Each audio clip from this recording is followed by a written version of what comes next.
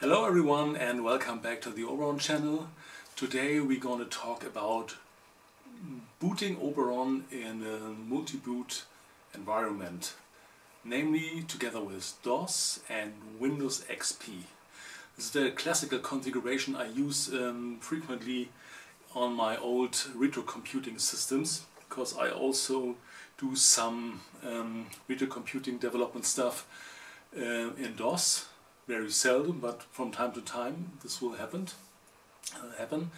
And uh, most of my stuff is in Oberon, of course, but I also have some Windows XP application, um, especially for my old pocket calculators that are running under Windows XP. so this is the reason why those three operating systems are um, the one, the ones of my choice. So um, Actually, um, I'm using Oberon as a native operating system that is booted directly because I activated the Oberon partition um, with the partition tools. So Oberon is booting directly. And for the other operating systems, I use a very clumsy trick. Um, uh, I can change the active partition in DOS and also in, in Oberon. So when I'm in Oberon and I want to switch over to DOS, I make the DOS partition active and when the DOS partition is active, the uh, NT uh, boot manager, which is shipped with Windows XP and um, is um, normally installed when you are doing a Windows XP installation, um, gets kicked into action, then I can choose between MS-DOS or Windows XP. Uh, as I said, it's a bit it's a bit clumsy, and uh, I wanted to change this. And I found a way how we can do this, and we won't need an additional boot manager. Uh, I tried and had some had some success with BootUS. It's really a very cool um, boot managing tool, uh, and it worked. But the problem is that um, BootUS was, let's say, running on top of the NT boot manager. So um, I had two boot options, let's say, cascaded after one another, and I, I didn't want that. Uh, I just want to use one boot managing tool. And I found a way um, how we can handle this with the Windows NT boot manager. Um, this boot manager is, is really not bad, um, but it was originally designed to deal with Windows and all those um, versions and subversions of Windows and with MS-DOS. And this uh, are the things it can handle. Uh, very cool and also automatically. But with other foreign operating systems, it doesn't know what to do with them. but uh, nicely, Microsoft implemented a trick or a little feature that you can boot um, an arbitrary operating system by your choice when you are applying the boot sector where this uh, operating system is hosted on the hard disk as a file, as a binary file, you pass it over to the NT bootloader as a parameter during the boot process. Um, and that's what I found out um, by studying all those pages uh, containing stuff about booting Oberon and also configuring the NT boot manager. And um, it's it's not very um, very complicated when you found out how it works, of course. And now I'm going to show you how we can do this. Okay, first we have to boot Oberon, and that's what I already did and um, there's a procedure existing exported from the module partitions which extremely makes sense in my mind um, that is able to write um, the boot partition to a file. But first we have to check uh, where our boot partition is hosted. So let's enter um, let's enter partitions and show.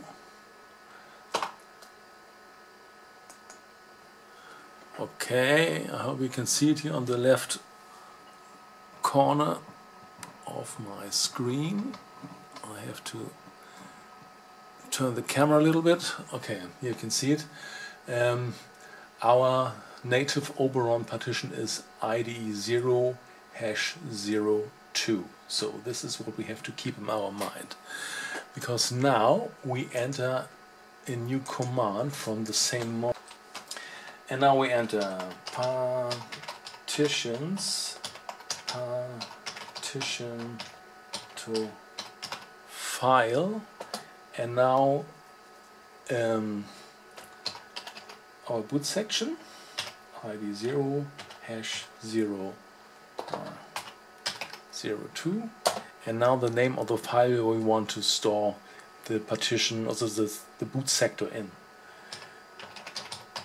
We name it oberon dot bin, and now we have two more parameters we have to apply, and the wave sign, and let's see if this works. Yes, you can see here something like a, um, a percent gauge running from the left to the right, and it's already finished. So now our um, partition section uh, our boot section is stored and um, we can see it when we apply uh, let's make it somehow different let's apply wildcard dot bin let's mark it and then we execute system directory. And now you can see oberon dot bin is written here. Okay. And the last thing to do now is to store it on floppy. And therefore we write backup write files and then oberon dot bin and the hash sign Eh, the wave sign now we can check this again by executing backup directory and you see oberon.bin is stored. So, okay, so the next thing is to transfer this file we already stored here on our floppy disk to our DOS system. So I already boot, booted my machine into DOS and this is now very easy. We just put in our floppy disk and let's see if we can can read the file. We go over to the floppy directory and we say dir and you can see there is oberon.bin the mbr.bin is a file from my previous test and it already works but for my tutorial I decided to name it more more reasonable. So I choose the name oberon.bin uh, makes pretty much more sense than, than just mbr but you can name it in any way you want So my installation was MBR, but your installation should be something more self-explanatory like Oberon. okay, now we say just. Um, I have to tilt the camera angle a little, otherwise you can't see what I'm typing in. Uh, just type copy oberon dot bin to C. one file copied. And that's all what you have to do in DOS.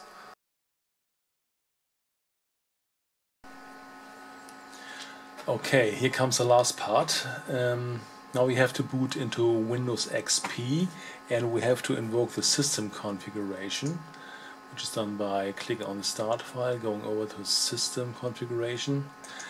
Um, I must apologize at this point of the video because everything here you can see is uh, obviously written in German, all the menus and all the texts. This is because I have a single language version of Windows XP. I can't switch over to English language. Sorry for that. So you have translate what you see in your mind um, to the English version.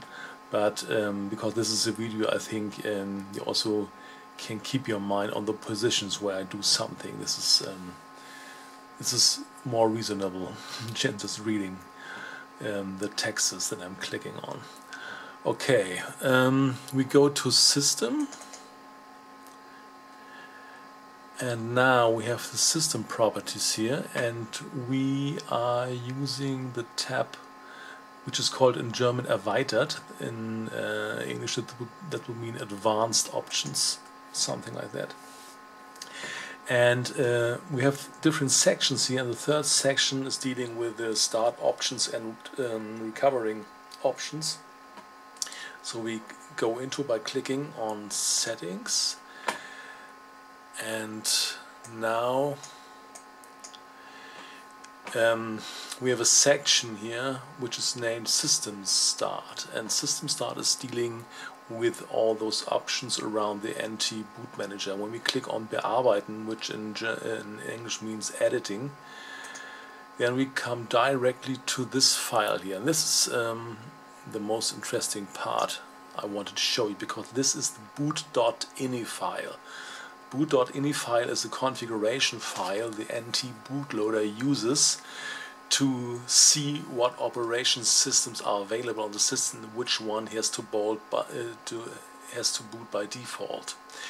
Um, so all the stuff starting from here up uh, down to here is all something that Windows NT inserted itself during the installation process. You can see it also found MS-DOS because I previously installed MS-DOS before I installed um, Windows XP so it, it, could find the the boot partition of MS-DOS and add it to the boot ini file. Um, just this last line here, this one here, is the one I added myself. And you can see C colon backslash mbr.bin and then this equal sign and then native Oberon. So um, this here is the path to the bin file we generated. In my configuration here is it's um, still named mbr.bin, but I told you um, this was just for testing purposes. It's more better to use the Oberon.bin uh, that you are um, going to make it. I hope so. So when you um, do the stuff I told you in my tutorial, then you should enter, of course, oberon.bin here. I'm not sure if this um, this text here is case sensitive. These settings are case sensitive. So I would recommend to avoid any uh, unnecessary errors and write it, uh, write the name of the file down exactly as you have it made in the Oberon system. Okay, and this is just a string that is displayed um, in the boot manager menu when you make your choice of the operating system. So I won't change anything here because it works and I keep it in the way it is. We can close this for now and we can go out here and now I can show you um, that the boot process is actually working.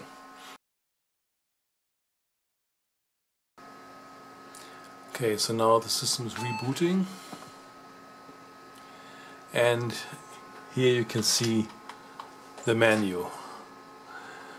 First is Microsoft Windows, then is MS-DOS, then we have native Oberon. So let's start with MS-DOS because this is the most quick boot process of all OSs I installed. And you see DOS was booting. Now we hit Control Alt Delete and we boot again.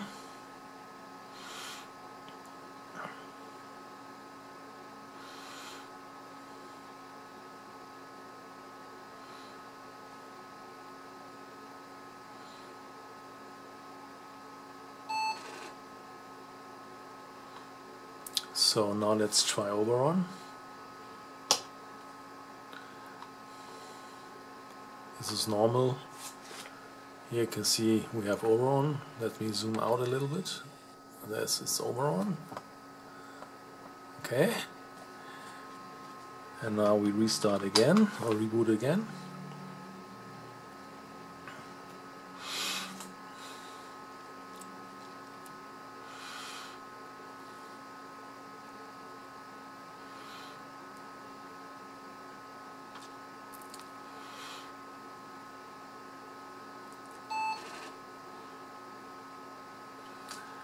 And here we go for Windows. And you see Windows is booting. Okay I hope you learned a lot and see you again on the Oberon channel. Bye for now